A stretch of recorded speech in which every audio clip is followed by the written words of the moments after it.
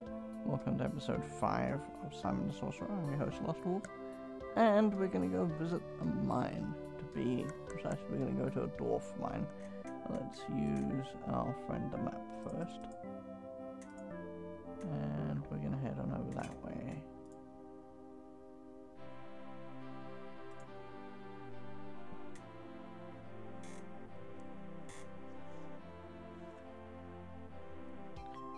first, we're to have a kind of hilarious interlude. This is my favorite music track in the game, incidentally. The forest track.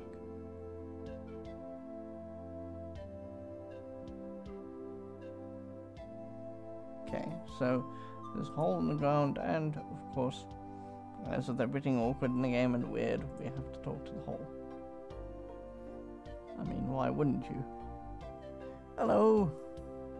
Is there anybody down there? Down there? Ain't nobody here but the chickens. Have you got a permit for this, sir? Are you some sort of sewage worker? Why have you dug a hole in the middle of the forest? I'll be on my way then. I like this. This is the funniest to me. Have you got a permit for this, sir? Permit? Do you not know who I am? I can't do this voice, okay? So when we get there, just and don't be surprised. You're a pirate looking for buried treasure. No! I'm the famous Dr. Yon Jones. It's obviously um, Dr. Jones from Indiana Jones. The famous who? Of course, the renowned digger of deep holes. You can't fool me, you're a paleontologist, aren't you? I kind of like that answer. Um, but I think we'll go with the famous who? Philistine. I'm the most famous paleontologist in the world. I'm looking for the missing link between man and vegetable, I think. You mean Banquil? And you reckon you're going to find it down in the hole? My name's Simon, not Philip Stein. Excuse me, I'll have to talk to some saner people. Um, this is kind of in poor taste, but sort of funny, I guess. I shouldn't laugh at that. Anyway, and you reckon you're gonna find it down that hole. It's also kind of funny, but very straight. Uh, my name's Simon, not Is it?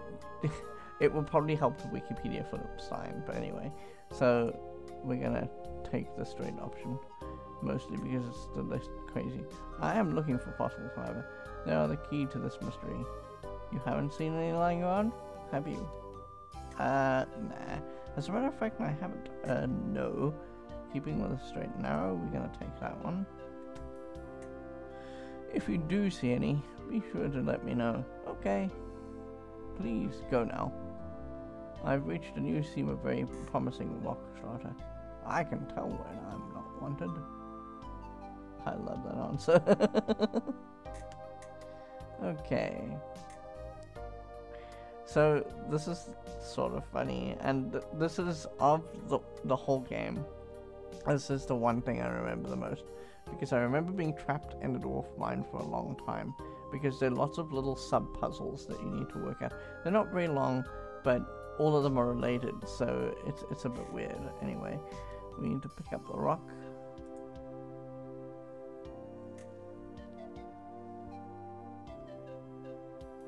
Oh look! There's a word written on it. You need to look at the word because if we don't look at the word, um, what's going to happen is it's going to leave you with a whole bunch of possible options and never give you this. It is the word beer chalked on it.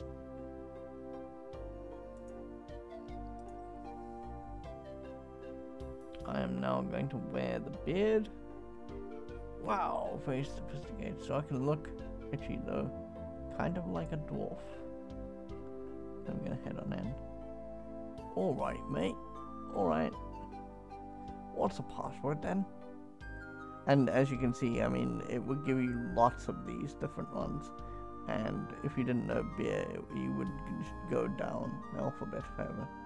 So, we're gonna pick beer. You may pass. Right on. Okay, so these this little puzzle is a kind of a meta puzzle. Everything I do here is intertwined. The first thing I need to do is this is the guard. And the guard is a problem because it means you can't go down here and you can't go down there. The first thing you have to do is distract the guard. So we're going to distract the guard with beer. Enough beer for a really good night. Use beer with the guard.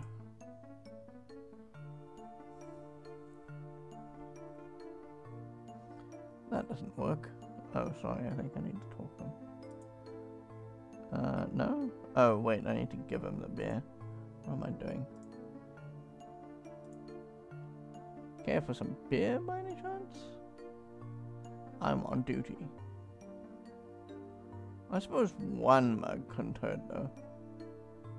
He's a dwarf, that ain't gonna happen. Bring it down, will you? Okie dokie. This way.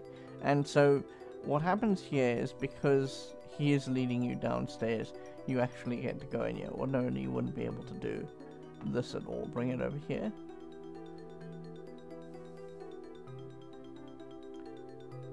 Now, how about a drinking competition?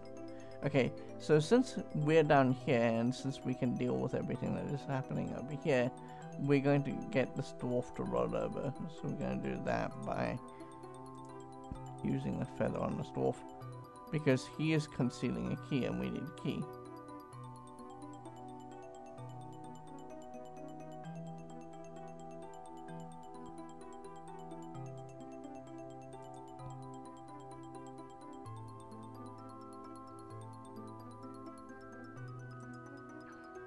And he's gonna roll back right over to sleeping. Now, the thing about this particular section is that, like I said, everything's kind of interconnected. If you didn't get rid of the guard over here, you wouldn't be able to walk down to the left-hand side. Because this guy over here would call the, the guard. And in fact, he's going to try doing that now. Guard! Guard! Time for a sharp exit. Where is that lazy slug? You must have gone for a beer break. Okay, so now, um, what you need to do, and like I said, this is kind of a meta puzzle. This guy here will tell you where the key is, and you need to know that this key is the key for that door, so we need to talk to him first before we do anything else. Excuse me?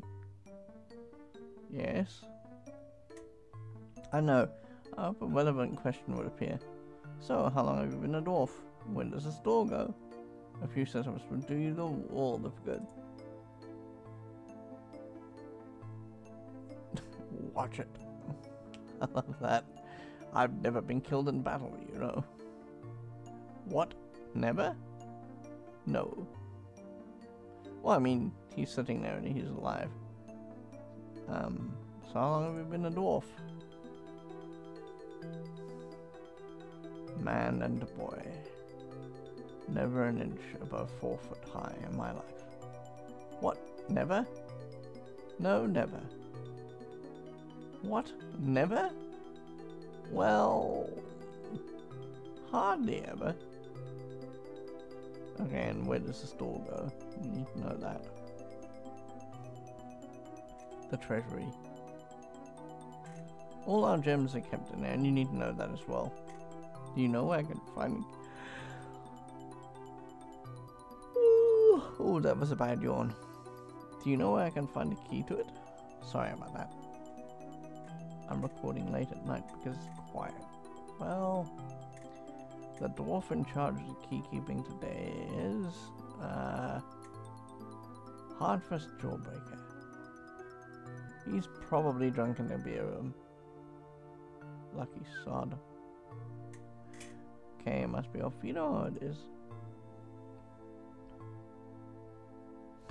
Okay, so the other thing is that you're probably only going to get to come in here once. So you need the hook from here. And now, of course, that we know that this key goes to the right place, we can use the key on the door.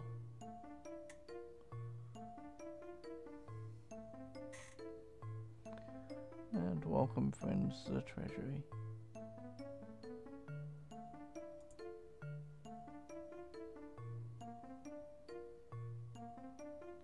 Core? Oi. Get out of here. This is a restricted area. I've come to make you an offer. I in any double glazing. I've come to relieve you. Okay, so long for now. You have to do this one, and I'm going to do this correctly because I don't know if there's a fail state for this, and I don't want to find out. Really? What sort of offer? Uh, I was hoping you might know. Well, I can't tell you at the moment. I've got something in my inventory that you want. You may have already won a hundred thousand gold pieces. I've got something in my inventory that you want. What's that then? Well, gives you inventory so that you can give him. Remember, he is a uh, dwarf, and dwarves like beer. What's this? Happy Aunt the Drunken Druid? And a free voucher? How can I ever repay you? Nice pile of gems you got there. I think, I think I'm, I'm sure we can come to some arrangement. You need a gem, so you're gonna have to pick the first one. Just one, though.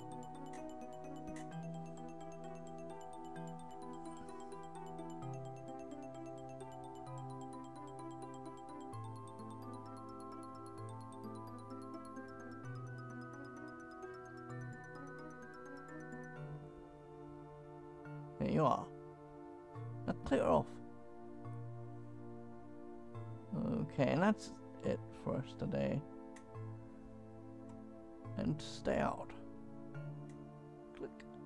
And here's the key, so I know you heard the key, that's good. So there you go. And that's basically our sport today.